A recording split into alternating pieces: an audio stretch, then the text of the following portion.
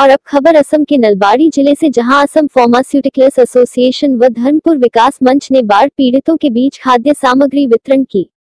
उल्लेखनीय है कि इस समय एक और कोरोना महामारी ने पूरे देश के साथ साथ असम में भी भयंकर परिस्थिति उत्पन्न की हुई है। वहीं दूसरी ओर असम का एक बड़ा भूभाग बाढ़ की चपेट में है। कहीं लोग कोरोना से मर रहे हैं तो कहीं बाढ़ ने उनका हाल बेहाल किया हुआ है। असम का नलबाड़ी जिला भी इस समय बाढ़ से जूझ रहा है।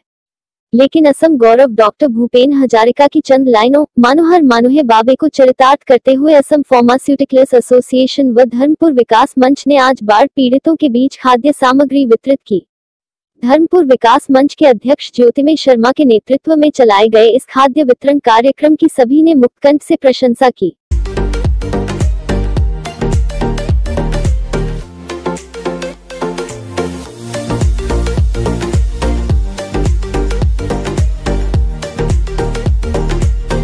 বৃহত্তৰ পূব পখুৰা গাঁৱত আজি আহি উপস্থিত হৈছোঁ।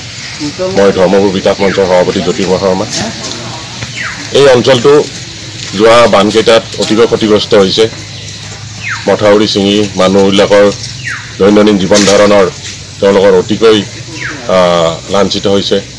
আৰু এই দিশটোৰ প্ৰতি লক্ষ্য ৰাখি মই আছাম ফাৰ্মাচিউটিকেল এছ'চিয়েশ্যনক মই অনুৰোধ কৰিলোঁ যে আপোনালোকে অলপমান সামগ্ৰী মোক সহায় কৰি দিয়ক যাতে মানে দুখীয়া মানুহখিনিক গৈ মই বানত ক্ষতিগ্ৰস্ত হোৱা মানুহখিনিক গৈ মই দিব পাৰোঁ আৰু তেওঁলোকে মোৰ অনুৰোধ ৰক্ষা কৰিলে আৰু আজি সেইটো কাৰণে মই অলপ সামান্য সামগ্ৰী লৈ আহিছোঁ ক্ষতিগ্ৰস্ত হোৱা মানুহখিনিক মই আজি তেওঁলোকৰ মাজত বিতৰণ কৰিম असम के नलबाड़ी से चंदन कुमार शर्मा की रिपोर्ट